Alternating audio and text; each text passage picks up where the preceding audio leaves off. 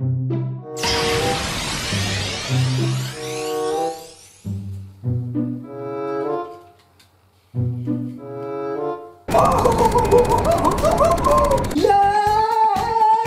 Merci pour les 2000 abonnés. Merci à tous les loulous, je vous adore Merci à tous et à toutes, bande de fous furieux. Merci, on a enfin dépassé le cap des 2000 abonnés après deux ans et demi sur cette chaîne YouTube. Et euh, vous avez quand même vu, je me suis habillé classe pour cet événement. Je me suis pas habillé en pyjama pour une fois. Je suis passe-partout du Fort Boyard, je guide les dans les traquenards. Et là, vous vous demandez très certainement, Que vas-tu faire pour la vidéo des 2000 abonnés C'est dans le titre de la vidéo, parce que oui, je suis arrivé à un état de démence pendant ce confinement qui m'a fait rendu compte que je ne tenais plus beaucoup à ma vie. Donc du coup, je me suis dit, tiens, c'est le moment pour faire un test de pureté. Révéler toutes les choses malsaines durant toute ma vie. Et attention, attention, attention, on va sortir du très gros dossier. Bien entendu, cette vidéo est déconseillée au moins de 16 ans, donc tous les petits jeunes mineurs, bah, vous pouvez quitter cette vidéo tout de suite.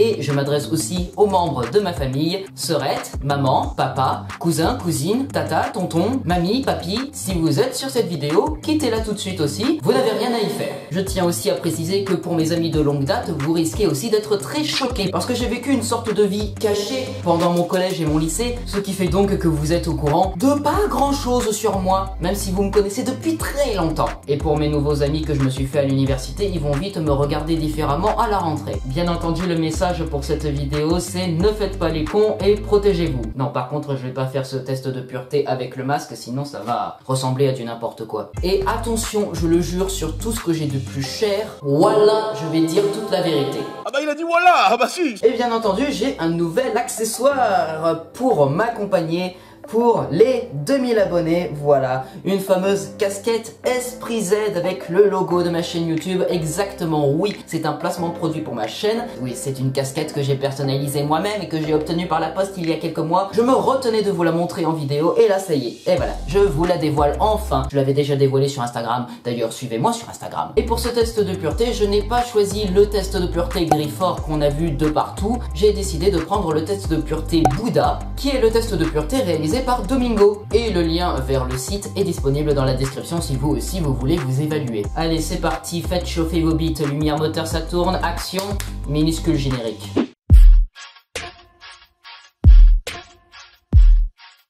Ouais, je sais, c'est pas l'intro Stranger Things, parce que je le vois de loin la vidéo qui va durer plus d'une dizaine de minutes. Ce jeu d'un goût douteux vous en apprendra beaucoup sur vous-même. Avez-vous déjà ri du malheur de quelqu'un? Oui, bien sûr que oui, j'ai déjà ri du malheur de quelqu'un. Quand quelqu'un tombe dans la cour de récréation, bien entendu, on ne vient pas l'aider, hein. on se met tous en cercle autour de lui et on se moque de lui. Et généralement, c'est moi qui tombais dans la cour de récréation en plus. Avez-vous déjà ri d'une personne mentalement ou physiquement handicapée? Bien entendu, je me suis déjà vu dans un miroir. Mais vous savez, une blague de Gilbert Montagnier par-ci, par-là. Oui, bien entendu, ça me fait rire. C'est euh, Gilbert Montagnier qui rentre dans un bar, puis dans une chaise, puis dans une table. Avez-vous déjà embrassé quelqu'un? Non, monseigneur. Oui, bien sûr, j'ai déjà embrassé des personnes. Et ceux qui vont me dire en commentaire... Oui, plus que des smacks. Vous êtes-vous déjà masturbé? Alerte coronavirus. Bah oui, bah bien sûr, mais oh, oh, oh, oh. j'ai 18 ans mon gars. Est-ce que je me suis déjà masturbé jusqu'à l'orgasme? Bah je pense que généralement ça arrive, hein. Vous est-il arrivé de ne pas vous laver? Bien entendu, je suis un gros sale sale. Non, en vrai, je suis assez maniaque de l'hygiène et j'en profite vu que je ne paye pas l'eau ici dans ma résidence universitaire, je prends des douches chaudes plusieurs fois par jour. Mais il m'est arrivé une fois de ne pas me laver pendant une durée de deux jours parce que j'étais parti en camping avec ma soeur et mon père dans les Pyrénées et euh, c'était vraiment un camping euh, avec nos propres temps en plein milieu de la nature et donc du coup il n'y avait pas de quoi se laver, juste un petit ruisseau avec une eau très froide, vous voyez? Donc euh, voilà, un petit week-end sans me laver, mais après ne vous inquiétez pas, je me suis douché comme pas permis. Avez-vous déjà bu de l'alcool? La question à un million. Non, je n'ai jamais bu d'alcool de toute ma vie. Même pas un tout petit peu de champagne pour euh, mon bac. Rien. Tout ce que je bois, c'est du coca. D'ailleurs, si Coca-Cola passe par là, j'aimerais euh, être euh, un de vos partenaires parce que je j'en consomme beaucoup de ces bouteilles. Je consomme environ 3 bouteilles par semaine. Avez-vous déjà été ivre? Non, bien sûr que non. Avez-vous déjà participé à des jeux à boire? Ah, par contre, oui. Et en fait, j'ai joué à seulement deux jeux à boire dans toute ma vie. Une fois avec mes potes de la classe en seconde, et ça s'était terminé très mal pour moi parce que j'avais eu un gage très malaisant. Je ne vous montrerai aucune image. Non, non, je garde ça pour une prochaine vidéo. Et la deuxième fois que j'ai joué à un jeu à boire, c'était pendant le nouvel an de 2020 avec des potes de l'université à Saint-Jean-de-Luz. Voilà. Avez-vous déjà vomi à cause de l'alcool? Non. Avez-vous déjà vomi sur vous ou sur quelqu'un d'autre? Même quand j'étais malade, j'arrivais toujours à atteindre les toilettes avant de me vomir dessus. Êtes-vous déjà tombé parce que vous étiez trop ivre? Non. Avez-vous déjà vomi de la bile ou du sang à cause de l'alcool? Non. Avez-vous déjà drogué vos parents? Régulièrement. Moi je drogue régulièrement mes parents. Et je les enferme dans la cave.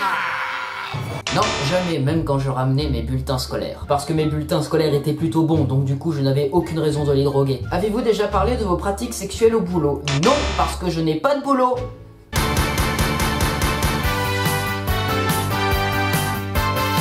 Vous êtes-vous déjà fait sortir d'un bar ou d'une boîte de force True story, je ne suis jamais entré dans une boîte de nuit de toute ma vie. Alors bien sûr, je suis déjà entré dans des bars pour boire un peu de Coca-Cola en famille après une petite promenade, bien entendu, hein, les, petits restos bars. Mais true story, je ne suis jamais entré dans une boîte de nuit de toute ma vie. Avez-vous déjà participé à un marathon tous les bars d'une ville ou d'une rue? Non, bien sûr que non. En moyenne, combien de fois buvez-vous par semaine? Bah comme je l'ai dit, je bois 3 bouteilles d'1,5 litre de coca par semaine. Mais si on parle d'alcool, eh bien jamais. Vous êtes-vous déjà endormi ou évanoui dans un bar ou une boîte? Non, jamais. Avez-vous déjà fait un coma éthylique? Non, et j'espère ne jamais en faire. Avez-vous déjà fumé une cigarette? Ah, ça y est, on passe aux questions sur la drogue. Non, j'essaye de protéger mon foie en ne buvant aucune goutte d'alcool. Alors ce n'est certainement pas maintenant que je vais commencer à fumer des cigarettes pour anéantir mes poumons. Avez-vous déjà fumé un joint? Non. Avez-vous déjà collé une douille? Non. Avez-vous déjà bu dès le matin? Non. Avez-vous déjà pris de la drogue dès le matin? Non. Quelle a été votre plus longue période de bourrée? Je ne bois jamais. Possédez-vous une Bible ou un autre livre saint, Coran, Torah? Oh Seigneur, je suis entièrement dévoué à toi. Non, je n'ai rien. Même pas une Bible. Avez-vous déjà été à l'église volontairement ou dans un autre lieu saint? Oui, quelquefois. Et euh, ça pour une très bonne raison, c'est parce que je suis un peu fasciné par les orgues. Je trouve que c'est un instrument grandiose, majestueux, et à chaque fois qu'on se promène dans une nouvelle ville avec mes parents, je demande toujours d'aller voir la cathédrale ou l'église pour aller admirer l'orgue à l'intérieur. Voilà, c'est toujours quelque chose qui me fait plaisir. Avez-vous déjà essayé une drogue dure? Cocaïne, héroïne? Déjà que je refuse de fumer des cigarettes, pourquoi est-ce que je prendrais de la cocaïne? Et surtout, ne pensez pas à l'héroïne, je suis phobique des seringues et des piqûres. Avez-vous déjà fait de la prison? Oui, bien sûr, je suis un putain de criminel. Non, jamais. Avez-vous déjà blessé volontairement quelqu'un? Oui, et plusieurs fois. Alors attention, je ne suis absolument pas bagarreur du tout, mais le problème, c'est que j'ai une sœur. Aïe, coup dur pour Guillaume. Et quand t'es petit, il y a toujours des petites chamailleries entre frères et sœurs. Et euh, je vais vous raconter une petite anecdote. Alors, ma sœur ne s'en rappelle plus, mais moi je m'en rappelle très bien et ça peut vous faire rire. J'avais à peu près 10 ans, ma sœur en avait 8, et on était dans la salle de bain. Et moi j'étais vraiment très respectueux des règles que nous donnaient notre père et notre mère. Et bien entendu, une des règles c'était, bien entendu, de faire attention à l'hygiène et de se laver les dents pendant 3 minutes. Comme tout garçon modèle, moi j'étais en train de me laver les dents sur le lavabo de gauche, alors que sur le lavabo de droite, il y avait ma sœur qui jouait un peu la fille rebelle, debout sur son petit tabouret panda d'ailleurs que je vous ai retrouvé sur Google Images. C'est exactement ce tabouret là. Le tabouret panda. Et le problème, c'est que elle, elle ne se lavait pas absolument les dents, elle se brossait les cheveux, ce qui était donc une infraction à la règle. Moi, voulant imposer mon autorité, je lui ai dit une fois, deux fois, trois fois qu'il fallait qu'elle se lave les dents, mais en vain. Et là, Ma colère a monté, monté, monté encore et encore. Je me suis retourné vers elle. Et là, j'ai fait un putain de TC Sparta. SS Sparta Je l'ai fait valser du tabouret, je l'ai envoyé contre la porte, ça a fait un grand boum. Ma mère, en ayant entendu le bruit, se précipita vers la salle de bain. Oui? C'est comme ça que j'imite ma mère. Ma mère ouvra la porte, vit ma sœur allongée sur le sol, se tordant de douleur, moi essayant d'expliquer à ma mère que je l'avais poussée avec mon pied parce qu'elle ne respectait pas absolument les règles. Et bien entendu, comme toute bonne mère et responsable, je me suis fait punir. Oui, bien entendu, je suis l'aîné, donc c'est toujours moi qui me fais punir à la place de ma sœur. Donc voilà, c'est quelque chose qui euh, restera gravé à jamais dans mes mémoires euh, de ces chamailleries, le fameux Tissi Sparta que j'ai envoyé sur ma sœur. Et après, bon, bien sûr, il y a eu d'autres chamailleries. Donc oui, j'ai quelquefois blessé volontairement quelqu'un. Consommez-vous des drogues régulièrement? Jamais. Avez-vous déjà vendu de la drogue? Non. Avez-vous déjà vendu de la drogue pour financer votre propre consommation? Non. Avez-vous déjà eu un rendez-vous amoureux?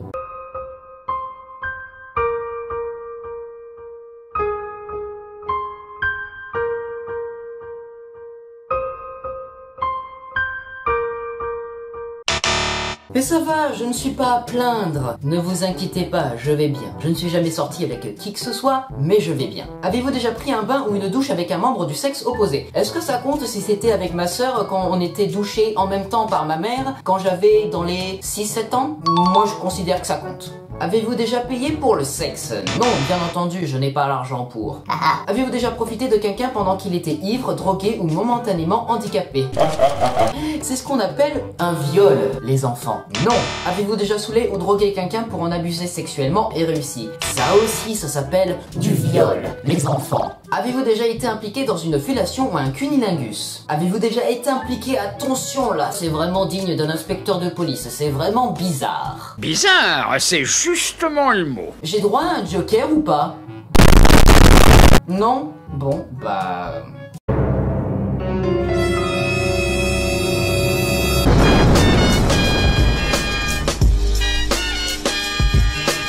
Jusqu'à l'orgasme Alors non pour le coup. Avez-vous déjà eu un rapport anal? Personne ne touchera à mon cul. C'est bien clair? Avez-vous déjà fait un 69 Non. Avez-vous déjà eu une MST, maladie sexuellement transmissible? Non. Avez-vous déjà transmis une MST Je ne sais même pas si je suis porteur d'une MST.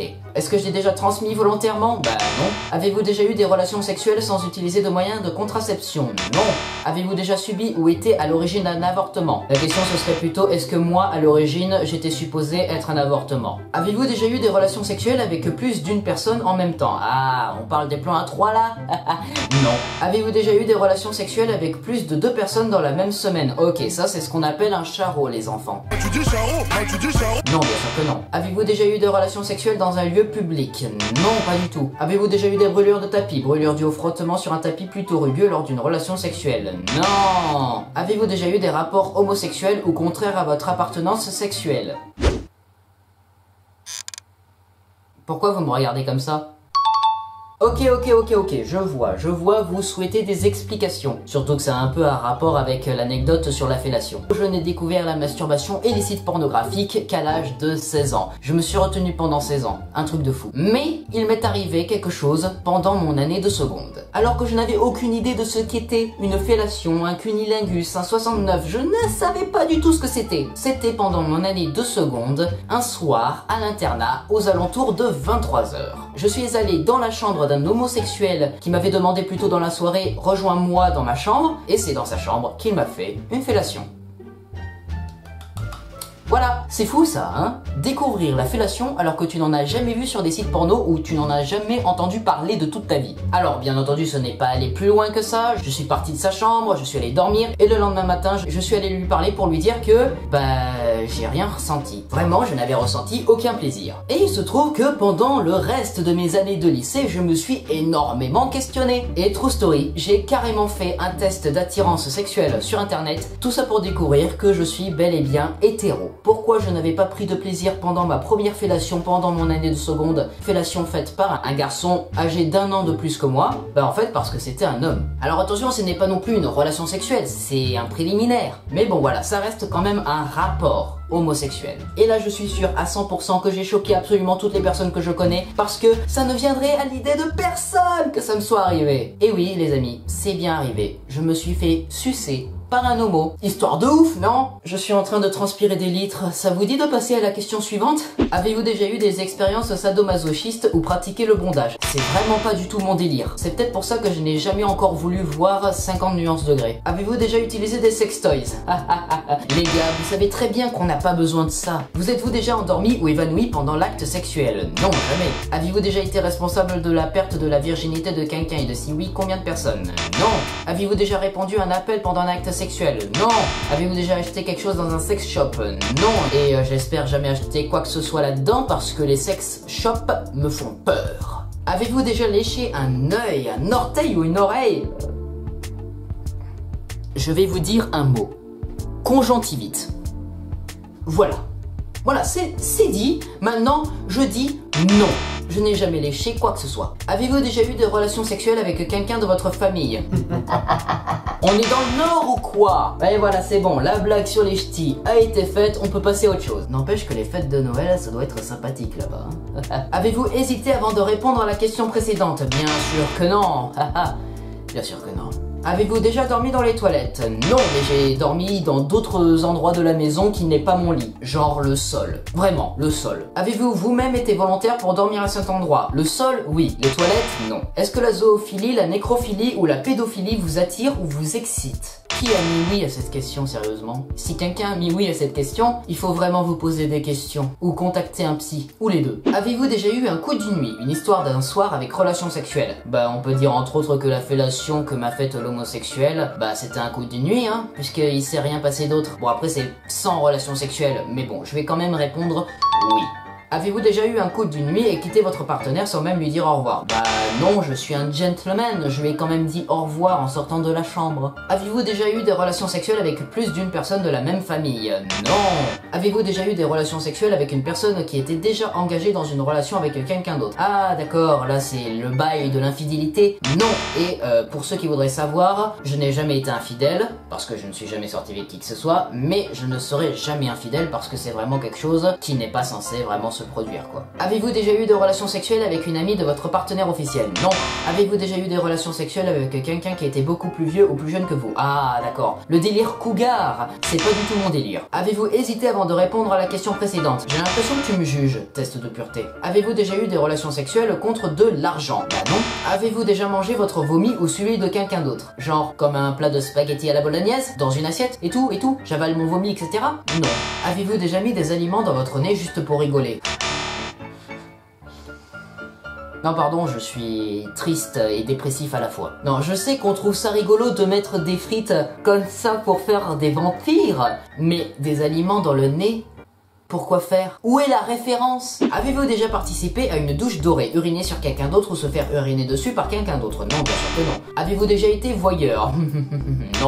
Combien de fois par semaine regardez-vous des films ou des images pornographiques? True story, je n'ai jamais vu de film pornographique, donc on va essayer de retourner un peu la question si vous le voulez bien. Combien de fois par semaine vous rendez-vous sur des sites pornographiques? Voilà, ok? Et euh, je crois que c'est le moment le plus malaisant de toute la vidéo, parce que c'est le moment où vous, derrière la caméra, vous allez comparer votre consommation de porno avec moi et y a vraiment pas plus malsain que ça. Mais je me dois d'être objectif avec vous. Alors, euh, combien de fois par semaine je me rends sur des sites porno? En vrai, j'ai une imagination débordante. Alors, je peux le faire sans porno, mais j'ai besoin d'un peu d'aide parfois et donc du coup, je vais répondre deux fois. Avez-vous déjà simulé un orgasme? Genre pendant un acte sexuel? Ou genre pour le délire? Non, non, non, non. Bon, bah donc du coup, euh. Avez-vous déjà posé un lapin à quelqu'un? Bah déjà, il faudrait déjà que j'obtienne un rendez-vous amoureux pour poser un lapin à quelqu'un.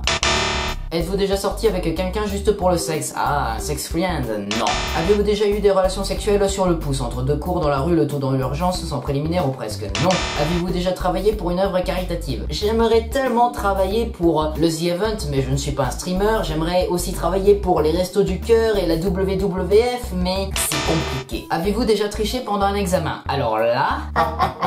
ça va être compliqué. En fait, toutes les personnes que j'ai connues ont pensé que j'étais le gars sérieux, appliqué dans son travail, qui ne trichait jamais. Vous vous êtes bien fait berner. Alors attention, attention, attention, je tiens à vous signaler, je n'ai pas triché pour le brevet et le bac. Mais il m'est arrivé de tricher pendant des petits contrôles, par exemple des contrôles de maths. J'ai le sac à moitié ouvert et là, je feuillette les pages de mon cahier à l'intérieur de mon sac. Bon, je ne vois que le haut de la feuille, mais euh, généralement sur le haut de la feuille, il y a des petites formules comme ça, donc euh, j'arrive à trouver quelques petites réponses. Donc oui, avez-vous déjà fait boire votre urine à quelqu'un d'autre? Même à ma sœur, je ne lui ai pas fait ce coup de pute. Alors, franchement, à qui je pourrais le faire? Non.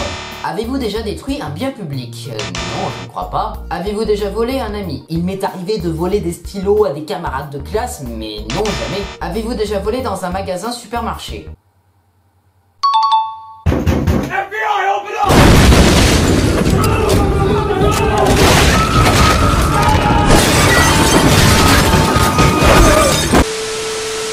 Ok, alors s'il vous plaît, s'il vous plaît, arrêtez les sirènes, arrêtez les sirènes, je peux tout vous expliquer, messieurs l'agent. En plus d'être quelqu'un vraiment pas du tout attiré par tout ce qui parlait de sexe, pendant mon enfance, j'étais vraiment quelqu'un de très naïf, d'ailleurs je le suis toujours, hein, et j'étais vraiment aussi très con. J'avais encore plus d'ego qu'aujourd'hui, pour vous dire. Je pensais que la loi ne s'appliquait pas aux mineurs, et seulement aux majeurs. Voilà, je pensais que j'étais libre de tout.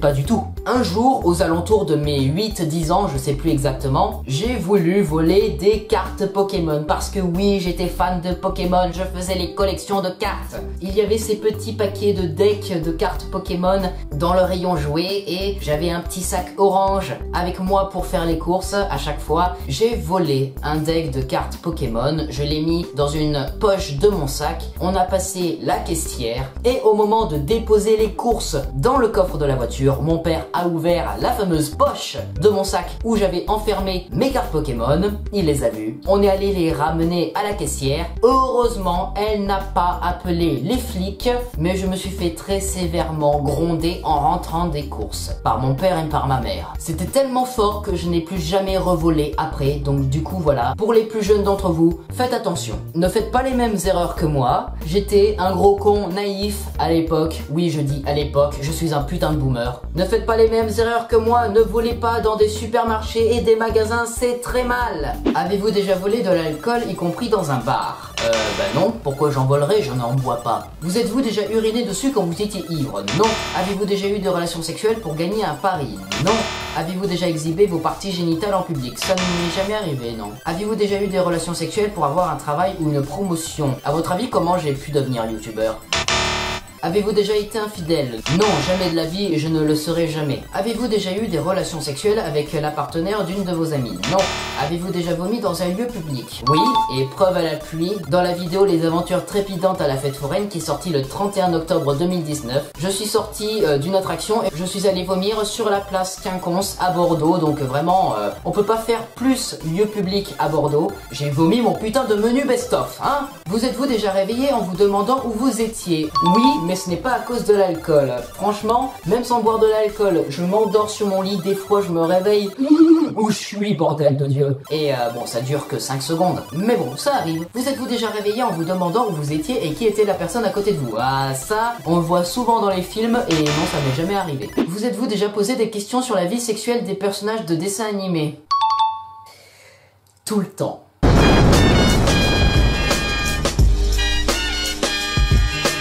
Alors excusez-moi, hein, comme je vous l'ai dit tout à l'heure, j'ai une imagination débordante et donc du coup je m'imagine des tas de choses, surtout pour les personnages Disney. Simba, Nala, comment ils ont eu Kiara? Dans Hotel Transylvanie, comment est-ce que Johnny et Mavis ont eu Dennis? Hmm et puis c'est à peu près ça pour toutes les princesses Disney, donc je vais pas rentrer là-dedans non plus. Et puis en vrai, c'est bon, les gars, avouons-le, on a tous fantasmé sur Clover dans Totally Spies. Alors bien entendu, comme moi, vous auriez répondu oui à cette question. Avez-vous un tatouage? Non, j'aimerais bien en avoir un, genre je sais pas moi, le tatouage d'Eleven euh, 011 là, ou même un autre tatouage de Stranger Things. Mais le problème, c'est que comme je l'ai dit précédemment, je suis phobique des piqûres, des aiguilles, et donc Donc du coup, c'est vraiment pas quelque chose à me conseiller. Avez-vous déjà eu de relations sexuelles que vous regrettez maintenant? Non. Avez-vous déjà effectué un des actes de ce test exprès pour améliorer votre score? Non. Avez-vous répondu honnêtement aux questions? Oui vous êtes normal, moins 10 points. Donc on le voit un peu sur le barème tout en bas, je ne suis pas pur, mais je ne suis pas non plus impur. Voilà, je suis vraiment quelqu'un de normal. Un gamin, adolescent de 18 ans, tout à fait normal. Je suis pur sur l'alcool, la drogue. Par contre, pour ce qui est de l'hygiène et du karma, hmm, ok, on est sur quelque chose de normal. Pour ce qui est du sexe, même si m'est pas vraiment arrivé des choses folles, je suis immoral, apparemment. Je ne suis pas quelqu'un de pur niveau sexuel, apparemment ok Mais par contre, ce qui est indécent, c'est la morale. Putain, incroyable. Je suis impur parce que j'ai été méchant, naïf et con dans ma vie d'avant. Enfin, ma vie d'avant. Il y a quelques années, j'étais vraiment un débile profond et je me suis repris en main depuis que j'ai commencé YouTube. En fait, vous m'avez fait grandir, mes amis. Et est-ce que ce serait pas un peu le mot de la fin? En fait, depuis que j'ai commencé YouTube, je suis devenu moins débile, moins con, moins naïf. Et c'est grâce à vous en fait